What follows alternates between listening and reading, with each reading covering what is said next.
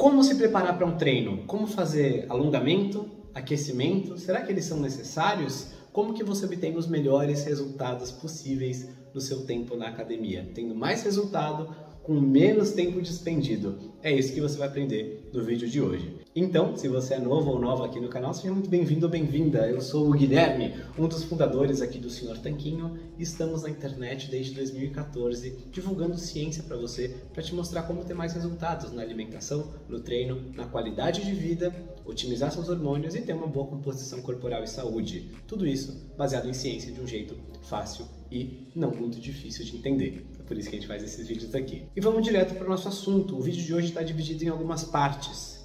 A primeira delas é o alongamento. E já adianto para você por que, que você não deveria fazer alongamento antes do seu treino, especialmente o alongamento tradicional que a maioria das pessoas faz, porque ele pode estar tá destruindo os seus resultados. Depois a gente vai falar um pouquinho sobre aquecimento, qual que é o propósito do aquecimento e como você deveria fazer do jeito certo. E por fim falar como ter mais resultados em menos tempo na academia, como ganhar mais massa magra, perder gordura, gastando menos tempo nos seus treinos. Tudo isso parece muito bom, não é? Então vamos lá diretamente para o nosso assunto. Vamos começar entendendo por que, que a maioria das pessoas faz algum tipo de alongamento ou aquecimento antes do treino.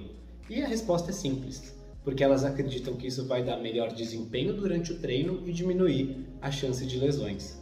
Mas será que isso é verdade? Basicamente, esses momentos onde você está se alongando igual um maluco, puxando parte para lá, parte para cá, e por aí vai, não sei o que, puxa o joelho, não sei o que lá, você está querendo basicamente aquecer o seu corpo e diminuir a chance de lesões, preparar ele para o treino. E o aquecimento também. Às vezes o pessoal anda aí 10, 15 minutos na esteira antes de fazer um treino. Você vai ver daqui a pouco por que, que isso pode não ser a melhor ideia.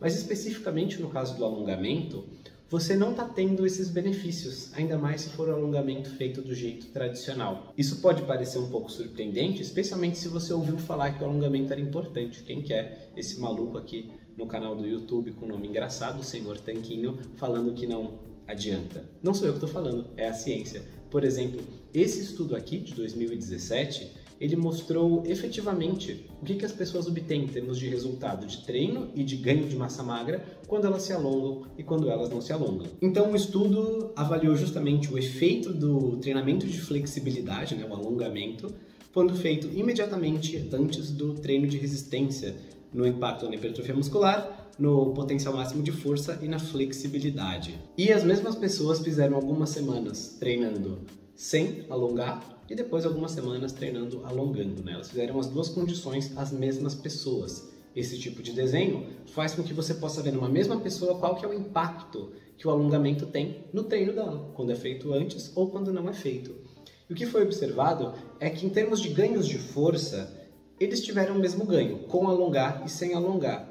Para mim, isso já é evidência bastante de que você, se está preocupado com ganhos de força, não deveria ficar muito preocupado com alongar. Afinal de contas, se você pode ter os mesmos resultados, perdendo aí uns 10, 15 minutos se alongando, ou não perdendo tempo nenhum com isso, eu prefiro economizar esse tempo. Tenho muita coisa para fazer na minha vida e não quero ficar me alongando fazendo uma coisa desagradável que não vai me trazer um ganho. Mas não é só isso, não é só que ficou igual, porque em termos de volume que foi executado por sessão, né, quanto exercício as pessoas aguentaram fazer, em termos de hipertrofia mesmo, quanto que os músculos cresceram, isso foi medido cientificamente, a gente percebeu que quem não fez o alongamento teve maior volume de treino e conseguiu ter, inclusive, maior hipertrofia. Então, se você chega na academia e tem aquele ritual chato aí de perder uns 10, 15 minutos se alongando, achando que isso vai te trazer mais resultado, saiba que na verdade isso pode estar impedindo os seus resultados. A gente percebe que quando falamos de treinamento físico, né, tem muita coisa que as pessoas fazem e que na verdade dão mais trabalho, gastam mais tempo e dão menos resultado do que se ela não fizesse absolutamente nada. É por isso que a gente, no nosso programa Projeto Tanquinho, a gente tirou as coisas que são excessivas por exemplo, esse monte de alongamento que desde 2017 está comprovado que não ajuda e na verdade pode atrapalhar os seus ganhos e colocou justamente atividades que vão ser mais eficientes, que a cada minuto que você passa se exercitando, você vai ter o um maior retorno sobre o seu investimento de tempo e esforço. Legal? Então, sobre o alongamento, a verdade é bem simples, é que se você gosta, quer fazer uma coisa leve, você pode fazer, mas não faça logo antes do treino, porque isso a ciência já mostrou que vai impactar a sua performance e os seus resultados. Agora sobre o aquecimento. A gente sabe que o propósito do aquecimento é ajudar você também a se preparar para o treino, ter um bom desempenho e prevenir lesões. E ele consegue sim fazer isso. Aquecer o seu corpo antes de um treino pesado é importante para você conseguir essas duas coisas. O problema não é aquecer. Aquecer é bom, acabei de falar. O problema é como que a maior parte das pessoas acaba fazendo o aquecimento.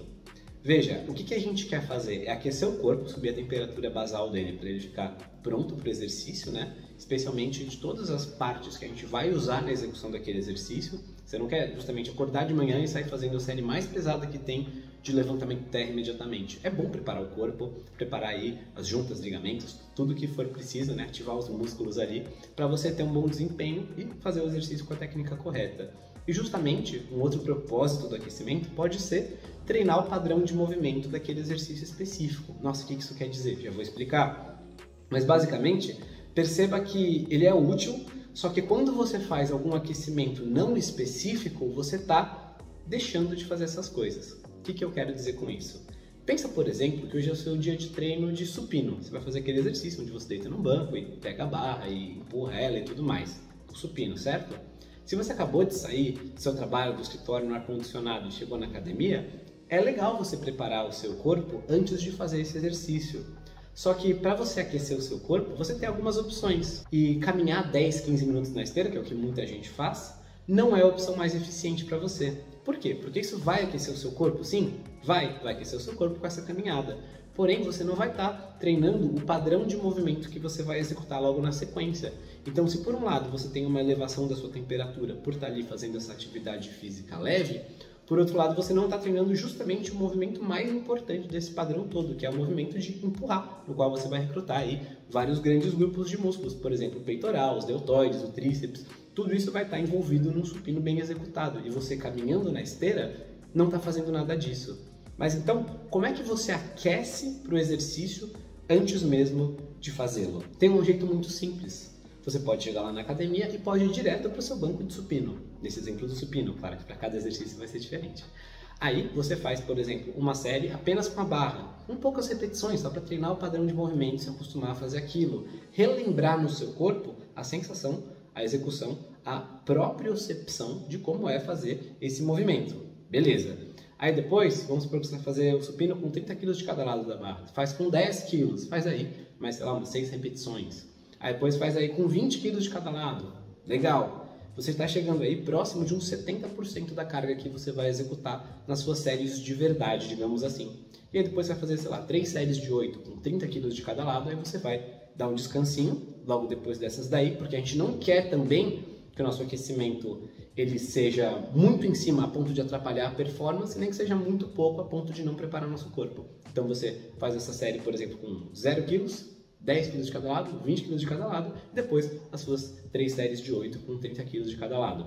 E é importante isso, tá? Eu dei esses números porque eles são bem redondinhos e fáceis de lembrar, e eles vão chegar bem perto do que a gente gosta no nosso método de usar como cargas para um aquecimento. Então, na carga total, a gente estava mencionando aí, se a barra tiver, por exemplo, 20 quilos, você vai ter feito com 20, depois com 40, depois com 60 quilos, e as séries de verdade vão ser com 80. Esses vão ser ótimos pontos de partida para você se orientar. Você está fazendo sua última série de aquecimento com 70, 75% da carga total do exercício. Agora, a gente não quer nem por um lado fazer só a série com zero ou não fazer aquecimento nenhum e direto para 80 quilos, porque isso aí pode predispor a lesões, pode predispor a algum padrão de movimento indesejado, e nem quer fazer tanto aquecimento que você vai fazendo, ah, vai fazer agora 5 séries com 0 quilos, depois mais 5 séries com 10, mais 5 séries com 20, aí uma série com 25. Aí depois, quando você for treinar as suas três séries de verdade, né, três séries de 8 com 30 quilos de cada lado, você já vai estar fatigado. E essa fadiga acumulada, ela vai impactar a performance, o seu desempenho nesse treino. Então, você não quer nem não fazer nada, não quer nem pecar por esse lado da falta de aquecimento e preparação para o treino, e nem pecar por excesso, onde você não sabe se a pessoa está mais aquecendo ou se ela já está treinando, que ela está ali há tanto tempo fazendo tanta coisa que parece que ela já se cansou e não consegue desempenhar tão bem nas séries que realmente vão trazer você mais próximo da hipertrofia. E tudo isso é importante de dizer, não só para garantir a sua segurança, né? Porque se você chegar do nada e for fazer os exercícios mais pesados, você tem mais chance de se machucar. Nem só para garantir os seus resultados, porque se você gastar muito tempo e esforço no aquecimento e não tiver energia e disposição para gastar nas séries de verdade, você vai ter menos resultado, mas também para ajudar na sua adesão a longo prazo. A verdade é que construir massa magra, queimar gordura e ter um corpo cada vez mais forte, com bastante mobilidade e saúde, é um processo de longo prazo. Não adianta nada você fazer exercício todos os dias por dois meses do ano e depois ficar 10 meses sem treinar. É bem melhor se você fizesse 60 treinos, né, todos os dias por dois meses. Ao longo de 10 meses, 6 treinos por mês, que nem é muito, você vai ter mais resultados do que se acumular tudo aqui e depois ficar vários meses parados. Por quê? Porque é um processo que leva tempo. Então, é importante conseguir manter a consistência nos treinos ao longo do tempo. E quanto menos tempo você perde fazendo exercícios, inúteis, né? Como por exemplo, chegar na academia, gastou 15 minutos alongando, 15 minutos na esteira, você perdeu meia hora. Poderia ser um treino. Num dia que você está com um treino, tempo mais corrido, você pensa, ah, hoje eu só tenho 40 minutinhos, nem vou na academia, porque meia hora só de aquecimento e alongamento. Você não vai. Então você está deixando a adesão de lado quando você cria rotinas muito complicadas e desnecessárias. A verdade é que aqui no Senhor Tanquinho, a gente acredita que eu tenho, o Rony tem, e nossos alunos e alunas, em sua grande maioria, também tem vidas corridas, várias demandas. Pô, a gente tem que se preocupar com família, carreira, vida pessoal, hobbies, interesses, alimentação saudável, sono, trabalho, estudo. Não dá tempo de ficar duas horas por dia todos os dias na academia. Essa não é a realidade minha nem dos nossos alunos. Se você é um fisiculturista profissional que treina duas vezes por dia e pesa cada grama de alimento que você põe na boca e não bebe álcool e não sai da dieta, tudo é calculado, o nosso programa não é para você se você é uma pessoa real do dia a dia que treina aí três vezes por semana na academia e que tem os melhores resultados possíveis com duas a três horas por semana de treino, aí o projeto Tanquinho vai te ajudar, porque ele pega esses princípios que a gente acabou de explicar e destila de uma forma fácil, passo a passo, um treino simples que você pode fazer em casa, na academia, com o peso do corpo, enfim, em várias modalidades, com pesos livres nas máquinas da academia, tem vários jeitos de fazer, tem vários protocolos de treino já incluídos nesse programa. E o aquecimento e alongamento são apenas um dos vários erros que os iniciantes cometem quando eles vão tentar buscar uma hipertrofia consistente e a longo prazo você pode ver que eu nem sempre tive a forma física que eu tenho hoje. Eu já fui gordinho, eu emagreci um tanto na minha adolescência. Olha como esses braços eram fininhos. Depois eu engordei novamente, minha tendência natural sempre é de ganhar muito peso, na verdade. Depois eu aprendi a alimentação correta, com comida de verdade, sem o excesso de carboidrato, sem comer a cada três horas e emagreci. E depois, finalmente, com muito estudo e pegando o melhor que tem de ciência, tudo que está disponível lá fora do Brasil, eu aprendi justamente como ganhar massa magra sem ganhar gordura. E agora tem uma forma física que eu fico bem satisfeito com ela, treinando 3 a 4 vezes por semana de uns 40, 50 minutos cada vez. E é justamente para ajudar você a não cometer esses erros que a gente preparou uma apresentação especial, os erros e acertos dos iniciantes na busca por um corpo com um tanquinho, um corpo com mais massa magra, com mais definição. Esse vídeo está disponível gratuitamente na página de apresentação do nosso projeto Programa Tanquinho de Hipertrofia. Convido você a clicar no primeiro link da descrição e no link do primeiro comentário, né? São o mesmo link para você escolher qual você quer, é a mesma coisa, e assistir o vídeo de apresentação.